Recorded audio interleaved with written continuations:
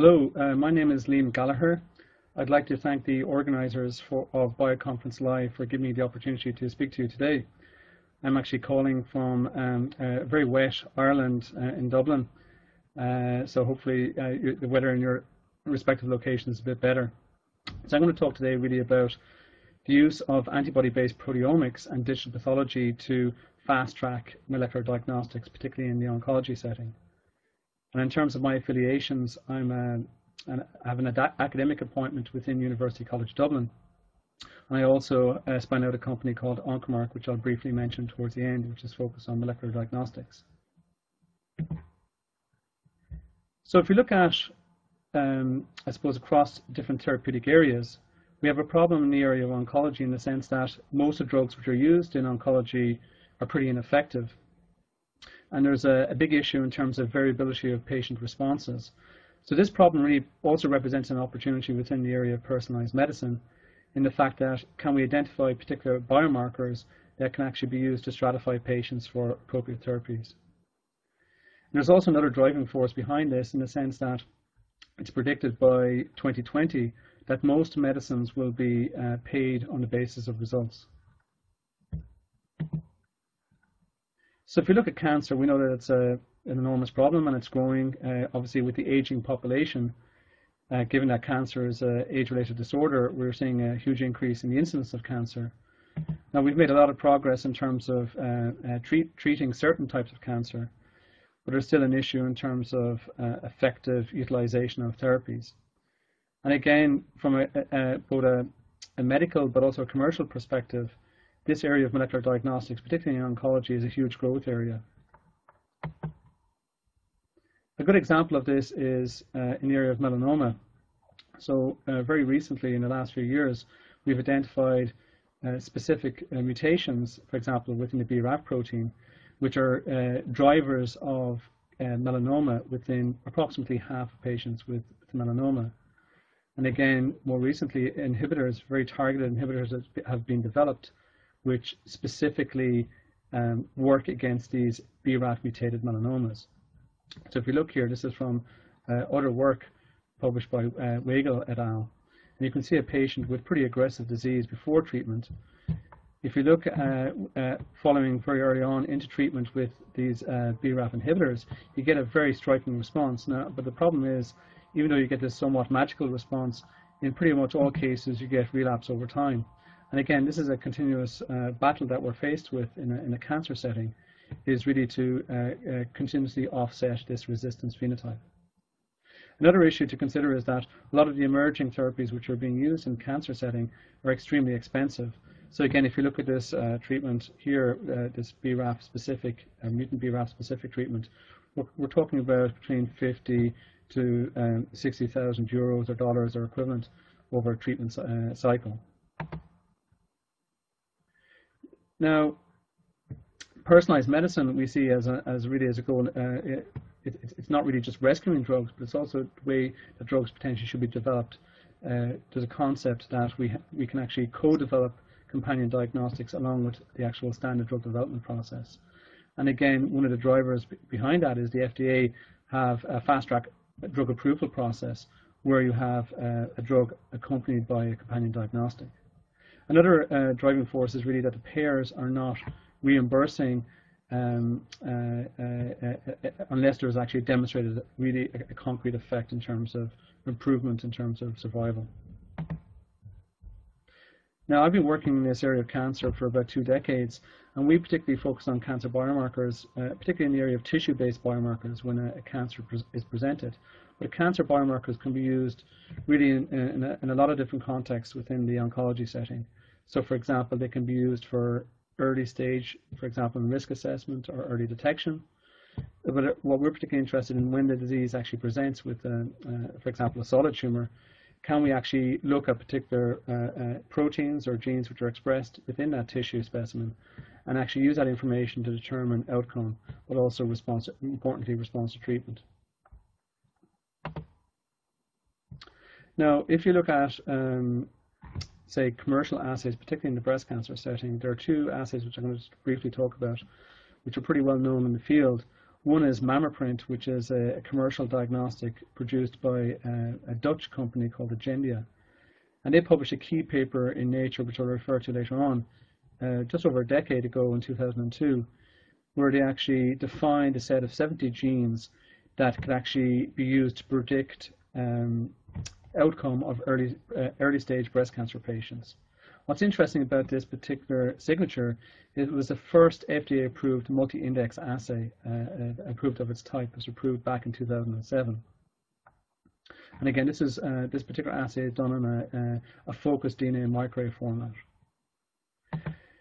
There is a, an equivalent type of assay which is not done in a microarray format, but is done using uh, RT-PCR, which is uh, commercialized by Genomic Health, called Oncotype DX. This specific assay is a, uh, a 21 gene signature. There are 16 informative genes and five control genes. What's interesting about this assay is that it's not FDA approved. It's actually run in a, under um, a CLIA, within a CLIA approved setting it's essentially a laboratory-derived test. But there's a, a very a, a, very significant number of patients which actually have been assessed using this technology across the world. And again, this particular assay is doing something similar to the MammaPrint assay. It's predicting chemotherapy benefit within a particular subset of patients which uh, we are not really sure how to treat early stage breast cancer patients. We know that um, in this subcohort of patients, we're generally overtreating those patients with chemotherapy. Approximately 70 to 80% of those patients don't require chemotherapy, whereas between 20 and 30% of patients do require chemotherapy. And these assays, both MammaPrint and Oncotype DX, are there really to try to uh, identify low risk and high risk patients in this context. From a kind of health economic perspective, these assays they range in cost. Approximately, they're around four thousand dollars, around three and a half to four thousand dollars uh, per assay. And again, there are lots of studies out there really, you know, determining whether this these particular assays are really provide benefit from a health economic viewpoint. What's interesting from from my own national viewpoint, from an Irish viewpoint, was that initially this, uh, for example, the Oncotype X assay was not given approval for use in uh, public patients. we have a, a public-private patient process within Ireland. What was interesting, that was that was changed around very recently, such that all patients within Ireland uh, can actually get access to this, tech, uh, tech, this particular technology. The first, uh, it was the first country in Europe in this context. So again, what I would like to do, just briefly do, is kind of stand back a bit now and just talk a bit more about the biology. So uh, these particular assays, what we're really trying to do is look at the primary tumor, look at the genes which are expressed in the primary tumor to actually predict an event that could happen a number of years down the line. And so on the left-hand side of this image, you can see a, a cartoon of the metastatic process where you get, for example, escape of cancer cells from uh, the primary tumor can enter into circulation and, uh, for example, can go to the secondary sites in terms of metastases. On the right-hand side, in a, a, a, minute or two, we're just going to show you a movie. And in that movie, you will actually see fluorescently tagged human tumor cells moving through the bloodstream. It's just one aspect of that uh, process. So if you could just play that movie now, please.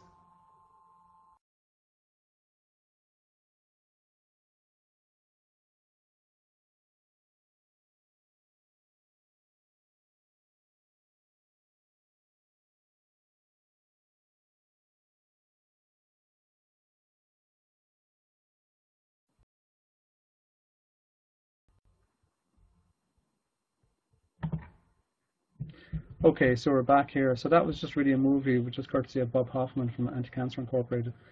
And the idea really is just really one aspect of the this metastatic cascade. So this is really a picture I use really to represent, uh, I suppose, my view of, of cancer. We, we really, and also my weekend within Ireland driving my kids around, but really it's a, we have a pretty good picture of what's going on in a biological setting within cancer. Uh, but the actual detail is missing, and really, um, that's really what I'm going to talk about over the next um, uh, few minutes. So we've, uh, over the last decade or even longer, we've carried out a lot of discovery using various different omic profiling approaches, gene expression profiling, proteomics, etc. And really, there's um, this discovery, there's a huge uh, uh, discovery process, but the actual conversion of this new knowledge into something that's actually clinically useful is really falling behind. So there's really a, a key problem in terms of validation or tra translation of this information into uh, something that's useful.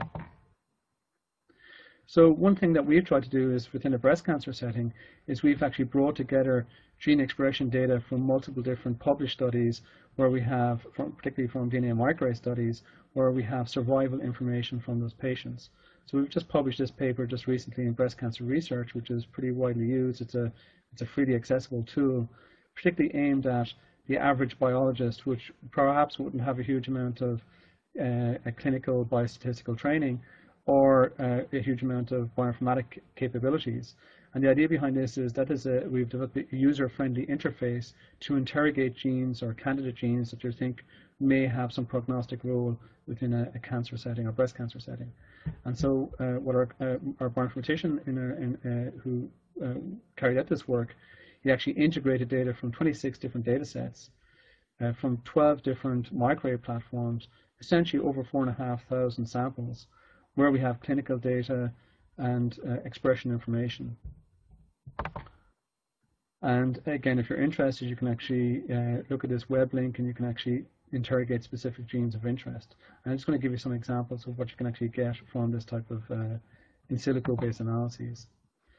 And so if you look at some genes, for example, on this Oncotype DX um, uh, panel, some of the 16 genes, you can actually look at the, uh, the, the, prognostic utility of those genes across that 4,500 uh, patient set on an individual basis. And so, for example, you can look on the top left, you can see the value of Ki67, a pretty well-known prognostic marker in, in, in, cancer, and then some other probably more novel markers, STK15, survivin, and MMP11. Uh, uh, and a key thing to emphasize is that really there's a, I suppose there's a, there's a, a key tipping point where if you actually combine, um, you can actually, each of those markers potentially holds value as a prognostic marker in their own setting. But when you actually combine them together, if you actually combine too many genes together, you actually potentially can lose prognostic value. And so this is the this idea that uh, on one level, you may not require all 16 genes from um, informative genes from the uh, Oncotype DX assay. You can potentially reduce that down to three or four genes of interest. And again, it's how you really combine these together as a signature. And again, people, you can look at other genes uh, using this resource. So we published a few papers on the application of this piece of software uh, or uh, database called BreastMark. Uh, these are just two highlighted studies. One we published with um, uh, Matthias Mann in cancer research uh, just over a year ago. And what Matthias did is he actually carried out a very comprehensive proteomic profiling effort in breast cancer. And he came up with about 55 proteins which were differentially expressed during progression in um, uh, breast cancer. And then what we did is we went back and actually looked at the value of these at the RNA level using this wider clinical resource and showed which of those hold, held value. On the right-hand side, uh, just referring to a paper we published in the first issue of Cancer Discovery with Lisa Coussens' group, and she was interested really in the role of the inflammatory response in breast cancer and how this could impact on uh, chemotherapy response. And in this case, what we're doing is looking at surrogates of immune cell infiltration by looking at expression of particular markers and showing there was utility there. So what I'm going to shift really now is really the main part of my talk, which is use of antibody-based proteomics. And if you're interested in this area in a bit more detail, we published a review article in Nature Reviews Cancer over, over two years ago, where we kind of reviewed the different, different aspects of antibody-based proteomics. I'm not really going to cover all of those today. So again, as part of our strategy, we integrate data from multiple different platforms. It could be gene expression data, uh, proteomic data, or functional screens. And then we use antibodies in a pretty much high throughput manner to validate these candidates on additional patient samples. And I'll talk about particularly the, the technology that we use. We use tissue microarray technology to look at large numbers of clinical specimens. What I'm not going to talk about today is really the application of reverse phase protein arrays or antibody arrays, but you can actually find other resources for that. Now, a particular aspect of the use of tissue microarrays, which I'll introduce in a minute, is that we were really driven towards the development of automated image analysis tools to actually uh, facilitate quantitation of our data. So if you're not if you're not familiar with what a tissue microarray is, it's really a platform for high throughput uh, pathology, where you can on the left hand side you've got your conventional uh, piece of tumor tissue that a, a, a, surgeon obviously would remove and then hand it over to a pathologist who would fix and form and embed in paraffin and put into a tissue block and then carry out standard full face sectioning on. And so what you can do with a tissue microarray is you can actually take small cores of tissue from each of those blocks, put them into a master block, and then you can actually put hundreds of clinical specimens on a single block.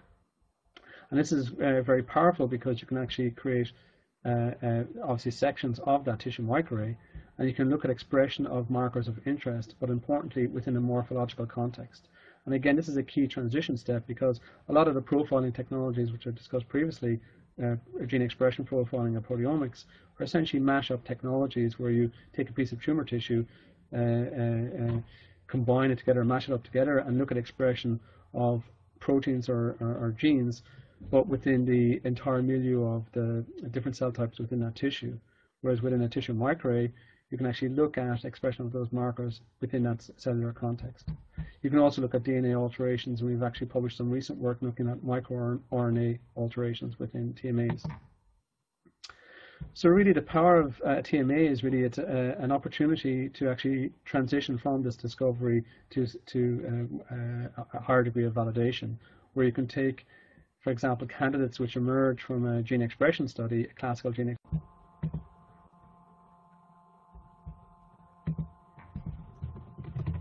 Sorry, I just had a bit of a problem on. Sorry, I uh, just want to just check if everybody can hear me. Okay, sorry, I just had a bit of a problem. Um, so anyway, I'll just push on here. So, in terms of um, this idea of one, one area that's really uh, revolutionized uh, uh, pathology is the advent of digital pathology, where you can actually create high-resolution digital scans of these traditional glass slides, which are used by pathologists. And this facilitates two uh, activities. One, you, you, don't have to share glass slides around to your colleagues. You can actually share the information online. And this really greatly facilitates manual assessment of this data. Another area that's very useful is that you can actually start to use computational tools to actually replace some of the kind of, I suppose, uh, cumbersome approaches which are used for, for manual assessment. So for example, you can actually quantify staining or different, different patterns within tissue. And I'm going to talk about that later. Now, what I'm going to talk brief, briefly now is really about um, the use of particular biomarkers in breast cancer. And specifically, this uh, graph or table shows the current FDA-approved biomarkers in, in, breast cancer. And you can see that really all, all breast cancers are assessed for three proteins fundamentally at the start, which would be the estrogen receptor, its downstream uh, target, the progesterone receptor, and HER2, which is the obviously the drug target for uh, uh, uh HER2-based therapies like Herceptin. Now there are some other markers which people uh, kind of use in, in, a lesser manner, but are FDA approved. And again, as I mentioned, that you have the MammaPrint assay, which was approved back in 2007. And again, the question that these assays really, um, particularly the MammaPrint assay and Oncotype DX assay, uh, ask is can the metastatic and therapeutic potential be predicted by whole tissue analysis of the primary tumor? And what we're talking about really is uh, can we be clairvoyant at the molecular level? Can we predict an event that's going to happen a, a number of years down the line? As I mentioned, I'm going to talk just in a bit more detail about this kind of seminal study by Laura Van Veer and René Bernards back in Nature in 2002, where they actually looked at uh, um, just under 80 patients, uh, where they actually split into two different groups, essentially a good prognosis group, which displayed, uh, uh or sorry, a poor prognosis group, which has displayed evidence of distant metastasis within five years, and then a good prognosis group which didn't display this phenotype. And essentially they carried out gene expression profiling looking at about 25,000 transcripts, and they found 70 genes which could actually predict this event in just over 80% of patients. And that really led to the genesis of MammaPrint. What's interesting is that this particular uh, uh, diagnostic assay, which has been commercialized by uh, Agendia is being te tested in a prospective manner in a very large-scale study called MINDACT, where they're going to profile essentially 6,000 early-stage node-negative tumors and really benchmark this new molecular diagnostic versus standard criteria which are used in Europe called the St. Gallen criteria. And again, if you, if for example, the traditional criteria and the new molecular diagnostic uh, agree that the patient is low risk, they're not, they're, they're not given chemotherapy. If they agree that they're high risk, they're given chemotherapy. And if they disagree, the patients are randomized. And at the end of the study, which we're, we think that the data will come out sometime next year, we'll actually know which, uh, which assay or which, which type of strategy is the best in terms of prediction. And again, we have a similar type of uh, study ongoing, a prospective study uh, called there's, uh, which is being carried out worldwide, testing the utility of the Oncotype DX assay, where they're looking at 10,000 patients. Now, a number of years ago, I had the fortune of hosting uh, Professor Bob Millikan in my lab as a Fulbright scholar, and Bob unfortunately died uh, in October 2012. Uh, uh, but he, he and Chuck Perou really made some key observations or kind of came up with this concept that you could actually potentially mimic the molecular diversity that's seen in breast cancer by using a small panel of uh, traditional and more novel immunohistochemical markers and this may provide a, maybe a more low-cost, clinically applicable tool. And so this is indicated here. So uh, Chuck Perou and Therese Sørlie uh, uh, a number of years ago actually came up with this concept that you could actually uh, subdivide breast cancer in various different uh, subgroups, for example, luminal A, luminal B, HER2 positive, um, basal-like or normal breast-like, based on gene expression data. And these subgroups have prognostic impact in terms of link, links with patient survival. But you can actually represent that, that molecular diversity or these subgroups by using traditional markers like ER, PR, and HER2, and some cytokeratins. Uh, uh, so you can use a, a, a, lower cost tool to actually uh, subdivide patients in this context. And so um, Doug Ross uh, um, who um, was a kind of key person in the gene expression field a number of years ago, he set up this company called Applied Genomics, which is, uh, was taken over by uh, uh, a couple of years ago.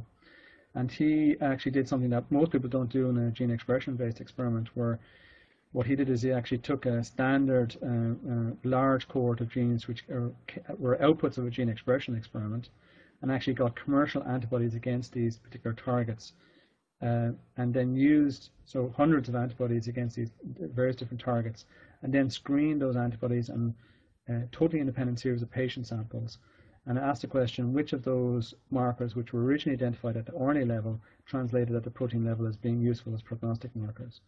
And so Doug actually came up with a panel of five proteins, including P53 and then four more novel markers, when combined together could offer uh, prognostic impact in terms of uh, uh, predicting patient outcome within this particular subset of early stage breast cancer patients, ER positive and lymph node negative patients. And so we had a similar idea a number of years ago, we actually got funding from the EU for this particular program called Target Breast. And this involved um, uh, my home university as well as Lund University in Sweden, uh, the Netherlands Cancer Institute, which was where René Bernards is based, as well as a Agendia, who was pushing forward MammaPrint, and a telepathology company called SlidePath. And the focus of this particular program was really taking omic-based data and then trying to identify candidate genes which were linked with differential outcome in breast cancer and then try to verify these at the protein level. And so our strategy was really to uh, analyze DNA microarray data, uh, come up with candidates, then get antibodies from a particular resource, which I'll talk about in a minute, called a protein atlas, check the specificity of these antibodies using cell culture models, where we modify the protein of interest, then actually, uh, once we're happy that the antibody is specific, we put it onto a TMA uh, of large number of clinical specimens, and then correlate the staining with, uh, we quantify the staining, and then correlate that uh, expression information with survival. So the particular tissue microarrays we got uh, were, came from a source in Sweden, uh, particularly Göran Landberg and Karin Jirström, and the Swedish are extremely good at collecting uh, this type of clinical material, but also having long-term follow-up uh, on patients. And so, so, in some cases, we have we have follow-up data for up to 20 years. And these uh, these types of materials also come with a whole variety of other clinical parameter information. And so uh, again, uh, approximately it's probably about seven eight years ago, following various different in-house discovery approaches and other people's papers, we came up with a really a hit list of 250 genes that we thought could be interesting in a breast cancer context, which, which tracked progression in some way. And when we looked for commercial antibodies against these targets, we were pretty um, unsuccessful. And so we submitted a, a, list of these 250 targets to a worldwide call by the Human Protein Atlas to generate antibodies. And again, I would encourage people to, if they're not familiar with this, to, to look at this particular website. And so the Human Protein Atlas is really a, a fantastic effort. It's a not-for-profit group uh, based in Sweden where they're generating antibody, antibodies against essentially all proteins, all non-redundant uh, human proteins. And they've pretty much got, I think, half the uh, proteome covered at this point. And you can actually interrogate uh, information online uh, in respect to protein expression and get access to these antibodies. And so what they do is they actually express a pretty big chunk of the protein. They, they, they express a, a large polypeptide from that protein. They uh, generate uh, uh, affinity purified uh, polyclonal antibodies derived from rabbit. Then they're purified, and then you go through a whole range of different specificity assessments where they're screened on protein arrays, they're screened on a whole variety of different normal and uh, cancerous tissue from humans, various different cell lines. So you get a lot of data already uh, in your hands before you get access to the antibody. The process is reasonably lengthy. It takes uh, one to two years. We submitted a list of 250 uh, uh, genes to the to the program. 100 were already on other people's programs for antibody production, and 150 were got onto uh, the program specifically for early access for our studies. In terms of success rate, you get about 40% success rate coming coming through the system. And over the last number of years, we've been actually profiling the expression of um, or using these antibodies to profile the expression of particular proteins on TMAs. And I'm just going to give you just a brief example of, of the type of data we've generated. So one particular marker called PDZK1, we originally identified uh, as being correlated with uh, good outcome in uh, a gene expression based data set. Sorry, one second, there's a Q&A up here. Okay, sorry, I'll go back. So there was a, um, we had originally identified as being correlated with uh, uh good outcome based on gene expression based data.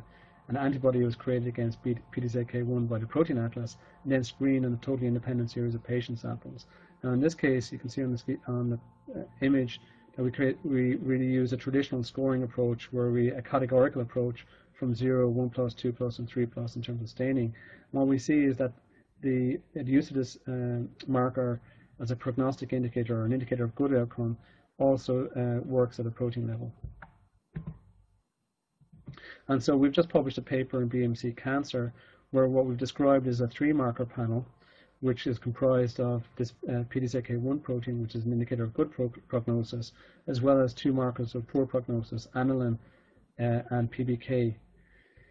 And really, if you combine, what I'm showing here is really the, the, the, each of those markers on a singular level, where you have on the top panel, you have the gene expression-based information for anillin, PBK, and PDZK1, where you can see low anillin correlates with better outcome, high anillin correlates with poor outcome. The same is true for PBK, and you get an inverted scenario for PDZK1 because it correlates with good prognosis.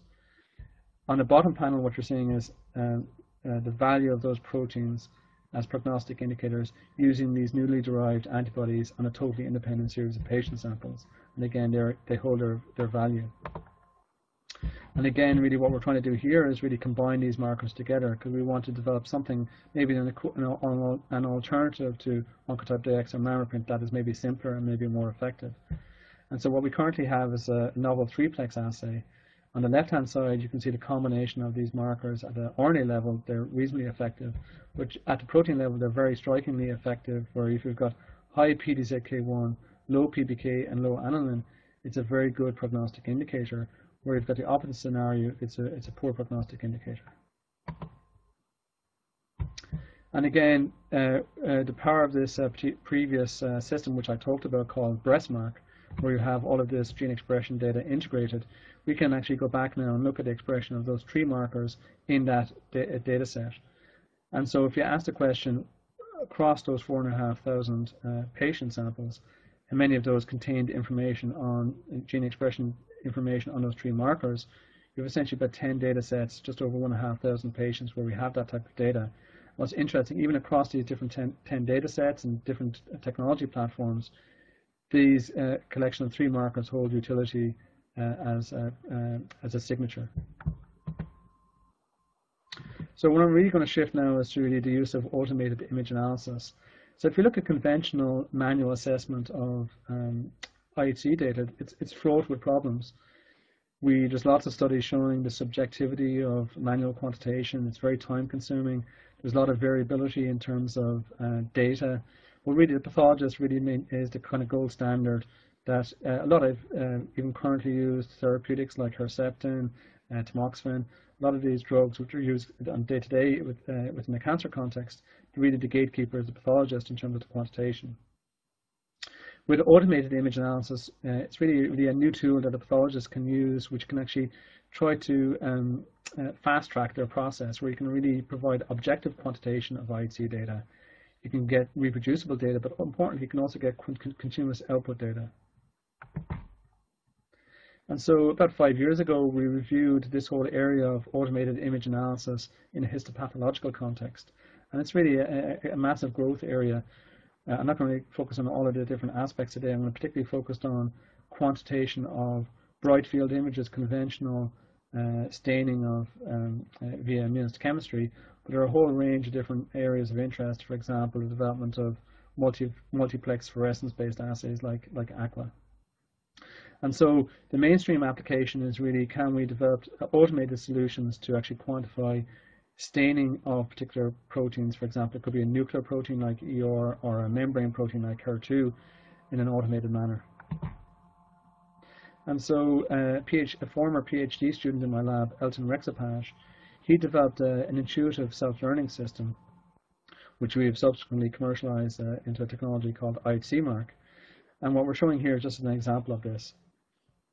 So if you look at, looking on this image, you see a conventional stain for the estrogen receptor, where you get, on the left-hand side, you've got um, essentially a conventional staining where you can see the brown, dot, brown dots are essentially cancer cells, nuclei of cancer cells, which are positive for that marker. What's quite challenging is to find cancer cells in the background stroma, within the background stroma, which are negative for ER.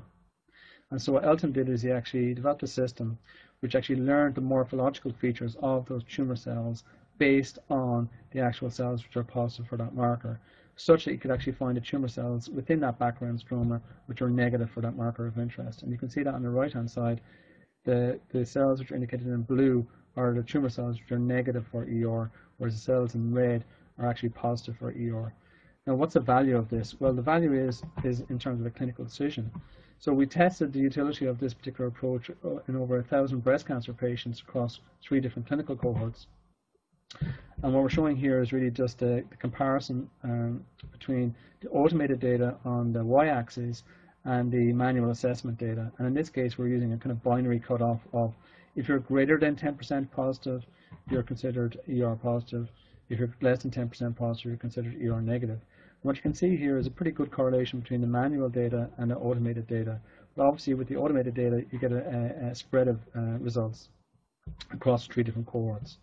We see the same thing with the uh, uh, other widely used marker, progesterone receptor, which is kind of a downstream indicator or uh, effector gene of ER. And so what we're really uh, interested in this particular uh, uh, schematic, I'm just looking at one particular clinical cohort. So I'll just go back just a couple of slides because it just describes it here.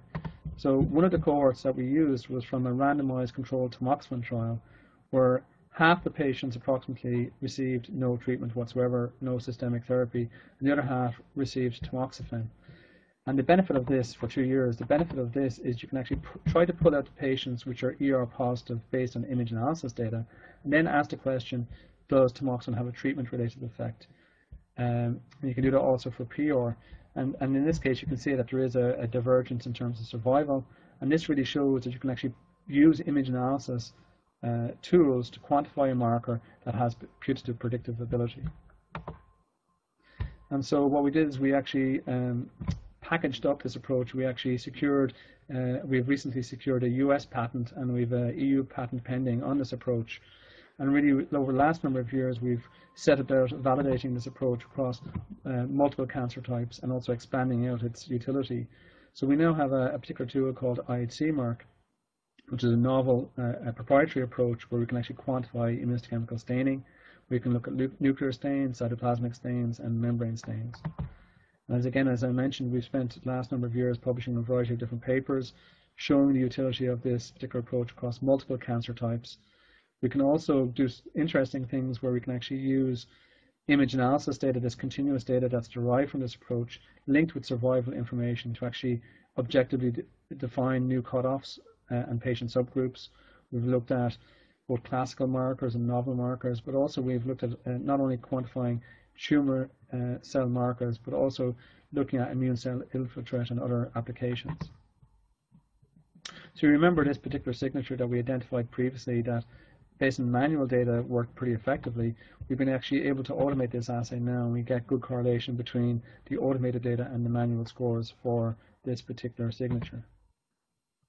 Our probably most powerful data to date is from a prostate study where uh, uh, uh, our collaborator Anders Bjartell from Lund, he'd previously worked, uh, published a study on this particular protein called MSMB, and he had used manual assessment on about 500 patients and shown that an inverse association with biochemical recurrence. And then he had gotten access to essentially another two and a half thousand patient samples and really uh, really needed a, a, faster way of analyzing this uh, huge resource of clinical specimens. And so the first thing we did is we actually uh, compared our um, automated data versus this uh, manual data on the set of 500 patients and then looked at the entire cohorts. And so what we're looking at here is just a kind of a representative image of uh, a low expressing sample and a high expressing sample for this particular marker. Uh, what you can see here is a Kaplan-Meier survival plot where we have all uh, essentially 3,000 patients within this study and we can actually show that using this image analysis acquired data, you can actually show that this protein uh, holds predictive value, or uh, in terms of prognostic value. And again, you, and this is another study uh, uh, that was I mentioned that was published with Lisa Coussens in Cancer Discovery, the first issue. And what we're doing something pretty simple here. Uh, there's a big interest now in the cancer field to look at immune cell infiltration and looking at correlations with, with outcome. And what we're simply doing here is using different uh, markers for different inflammatory cells, so CD4 positive cells, CD8 positive cells, or, or, looking at macrophage content, and essentially using the power of this image analysis tool to look at uh, density of these immune cells within the entire tumor area, and then correlating these density measurements with survival. And depending on the type of immune cell that you have, or inflammatory cell or macrophage, this has differential prognostic impact, and you can actually combine that as a signature in itself. So I'll just briefly mention Oncomark. Again, I just wanted to indicate that uh, I, I, also had a commercial interest. So I spun out this company a number of years ago, really with the idea that we want to transition some of our discoveries, particularly using this digital pathology-based approach. And so currently Oncomark is still heavily invested in R&D. We're working across a number of different cancer types. We're working breast cancer, prostate, and colorectal cancer specifically. And we're, we're working um, particularly armed with funding from the EU. We have uh, received four and a half million euro in EU funding, really covering these different uh, uh, uh, cancer areas. So what I wanted to do is also talk about a, a new initiative uh, which kind of I, have recently kind of uh, taken over. It's called Breast Predict, and this is a, a very large research program. It's um, a program essentially encompassing pretty much all the breast cancer researchers or highly active breast cancer researchers within Ireland. And it's the first of a very large scale uh, kind of nationwide initiative in breast cancer. And so we know that, for example, breast cancer is not just one disease. We know that there's a huge amount of diversity between patients. Uh, even if you look at different tumors from uh, different patients, you've got, uh, again, variations in terms of um, molecular characteristics. And again, we have this phenomenon with, of within tumor heterogeneity at a molecular level. And so we've had a lot of advances in biology and a huge amount of information at the molecular level, but we really need now to transition from this is really take this new data to redefine how we treat breast cancer, really with the ultimate goal of precision therapy. We also now need to uh, take on board what's coming out from systems biology in terms of pathway network modeling and build that into the system, identify putative nodes which are kind of driving uh, cancer in a particular way. We need to use this type of data uh, to actually better understand how tumors respond or resist treatment. We also need to get better at actually sampling patients during their course of treatment, particularly uh, sampling patients longitudinally uh, throughout their treatment uh, uh, course. And so this Breast Predict program, which actually started in October of this year, is, uh, it's a five-year research program, um, um, a very large-scale program. We're actually bringing together three different components. We're bringing together Uh, uh, translational researchers, which are coming out with discoveries, for example, using molecular profiling with medical oncologists, but also taking a, a population-based perspective of, of, of cancer, particularly breast cancer. And our aspiration is really to combine molecular data, clinical data, but also population-based information within a, a, fully unified nationwide database. And then use this information to actually inform uh, what are the most appropriate diagnostics, uh, diagnostics and therapies to use within that patient population. Again, uh, this is a figure which recently came out on a recently published gap analysis in the breast cancer research, uh, breast, within the journal Breast Cancer Research, uh, sponsored by the Breast Cancer Campaign. What we're indicating here is really the, I suppose, the treatment course of an individual uh, or series of individuals with breast cancer. And really what you'd like to do, rather than just sampling the primary tumor, you want to be able to get in there and actually sample like, or obtain biological materials from patients throughout their entire treatment uh, course. And particularly one area that's difficult is sampling of metastases, relapse disease. And so we have within this program a particular uh, focus on actually getting access to this disseminated material and then comparing the primary and the corresponding mets from individuals. Kind of questions we're asking within this program are so the, the kind of problems we're asking uh, within this um, uh, large-scale program is really uh, questions around, uh, for example, we know that uh, patients who take aspirin pre-diagnosis to breast cancer seem to have a differential outcome uh, based on population-based information. What we want to do is really verify this, but also probe this at a mechanistic level. We're interested in actually um, uh, tracking how tumor, tumors change during or evolve over time during treatment, looking at molecular diversity during treatment. But also one uh, aspect that we're focusing on is really there's lots of new and exciting drugs out there in the in the cancer field, particularly in the breast cancer field, but we're not really sure how to effectively combine these together. Can we come up with a more rational basis for combination? And again, taking on board computational biology and systems medicine approaches. Uh, another program which I'm involved with, which um, kind of refers to this digital pathology area, is called FastPath. And this is a program which is specifically focused on prostate cancer. And this involves essentially two different aspects. We're interested in looking at morphological subgroups within prostate cancer. People might be familiar with Gleason grading, which is kind of current used uh, approach, which is trying to subdivide prostate cancer into different uh, uh, categories and then correlating that with uh, how you treat a patient. We're trying to maybe get around that by using more novel and sophisticated approaches for looking at diversity uh, in terms of morphological subgroups. We're also interested in looking at, again, this image analysis based solution to quantify prognostic biomarkers. What's unique about this program is that we're actually also bringing in a new element, which is high performance computing, because uh, image analysis is all well and good, but without high performance computing, there's uh, there's a potential kind of delay effect. So this is a collaboration with um, uh, groups in Northern Ireland with Queen's University Belfast and also a uh, spin-out from, from there called PathXL. So one last uh, EU program which I'm going to briefly mention is called RATHER and this is a program I, I coordinate. It's about midway in the program. this is quite an exciting program. What we're doing is we're focusing on two particular subsets of breast cancer which are particularly challenging to treat.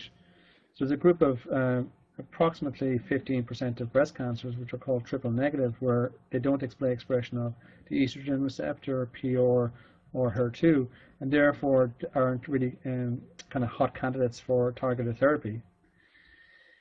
There's also another subgroup, it's about 10% of uh, breast cancer patients which um, are what are called invasive lobular carcinomas. And this is a pretty much understu understudied subgroup of uh, patients. And these patients generally display a poor response to systemic chemotherapy. And so in this particular program, we're actually focused at looking at kinome alterations within 150 triple negative breast cancers and 150 invasive lobular carcinomas, as well as a series of representative cell lines from those different subgroups. And we're doing a kind of multi-omic approach where we're looking at uh, mutational profiling using kinome capture-based uh, systems. This is work that's been done in Ren René Bernards' lab in the NKI. We're looking at kinase activation using reverse phase protein arrays. This is taking place in the Institute Curie in, within uh, Thierry Dubois' lab. We're also using a copy number analysis using whole genome uh, uh, SNP arrays to look at uh, whole genome copy number variation, but also specifically zooming in on the kinome alterations. This work is taking place in Carlos Caldas' lab in Cambridge. And then finally, we're also taking a, a kind of an RNA-based perspective using both gene expression arrays and RNA sequencing. And this work has been done in Agendia and also in, in my home institution, UCD. What's interesting with this program, we've actually completed the actual discovery part where we've actually obtained uh, omic data from these different platforms across um, for all of those specimens. And really now we're in the final stages of integrating this information and we hope to get a really kind of landmark paper initially which really redefines uh, uh, these particular subgroups of, of breast cancer, particularly invasive lobular breast cancer at a molecular level. The next stage of the program is really take those the discoveries now and start to use it practically. Is there some novel kinase alterations that we can find which are enriched or altered in those particular subgroups of uh, breast cancer that can be used to inform downstream um, stratified medicine trials. And we have funding ring fenced within the program for uh, a companion diagnostic trials to actually test that concept. Uh, one, uh, uh, we have an analogous program within the colorectal cancer space where we're looking at a series of, it's called uh, and we're, we're actually looking at a, a, variety of different markers within the apoptosis signaling pathway and applying a systems medicine approach to quantify the, or to, to model this particular pathway, but using information derived from IHC staining of colorectal cancer specimens uh, to predict chemotherapy response. So what I'd like to do is just finish off by indicating the various different funding sources which have supported this work, particularly the Irish Cancer Society, Enterprise Ireland, the Health Research Board of Ireland, Science Foundation Ireland and the European Commission. Also what I'd like to do is thank the various different people which have contributed to this work, particularly uh, national collaborators and international collaborators from Sweden, UK uh, and the US, and also people on, within my lab, both current members and former members of my group. So I'm happy to take some questions on my, actually, sorry, I, I actually was supposed to um, also indicate that people can obtain continuing education credits. They can actually go to this particular resource. So what I'll do is I might click up the Q&A box and, and maybe go through some of the questions that people may have. Well, I've just got one question, so if people have other questions, please please feel free to, to ask that. So there's a question which is um, here, can antibody uh, generated be used in immunotherapy? So what's in the particular focus of our study to uh, in the area of immunotherapy? We were, we were really interested in use of antibodies from the point of view of just conventional antigen de uh, de detection. Um, so we, we didn't go out there with the mission to develop antibodies for therapeutic purposes.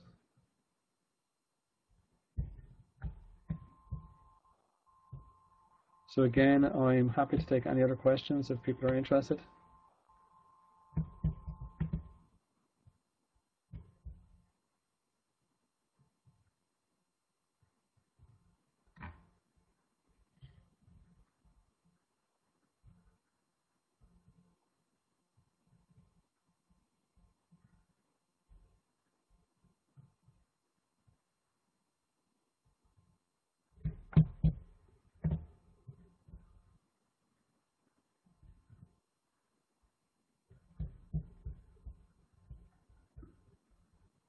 Okay, I'm still waiting for questions.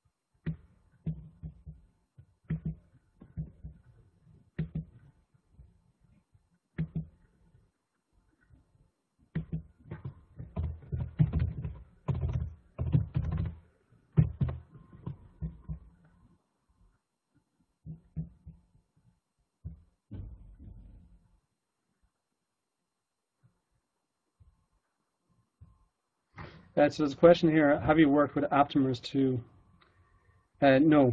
So we, I'm, I'm, familiar with aptamers, but we, uh, we, I, I, we haven't actually specifically worked with aptamers. Obviously, aptamers can be particularly useful for from a therapeutic context also.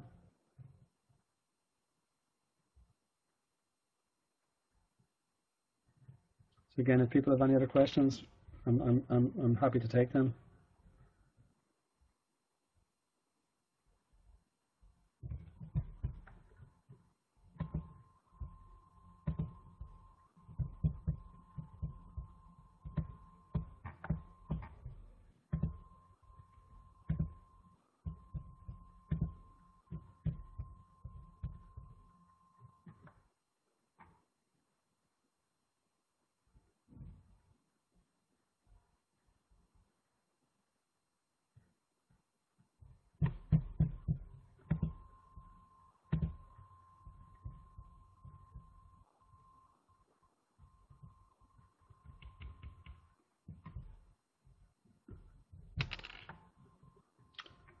Okay.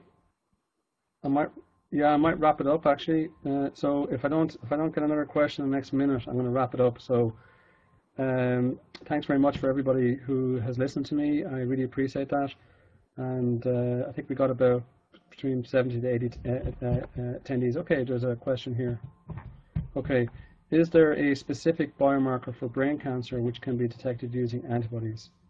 Uh, to be honest, I don't know. I'm sure there are lots of candidate biomarkers which are kind of being postulated as being useful uh, for, for brain cancer. It depends what kind of application is. It something that you're looking for something that is exclusively expressed in brain cancerous tissue, or are you looking at specific markers that can be used for predicting outcome?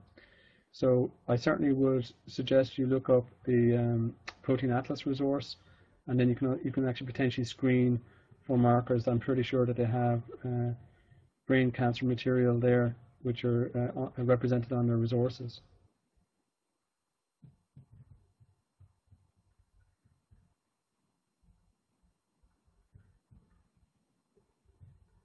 Okay, so I'm going to wrap up now. So thanks very much.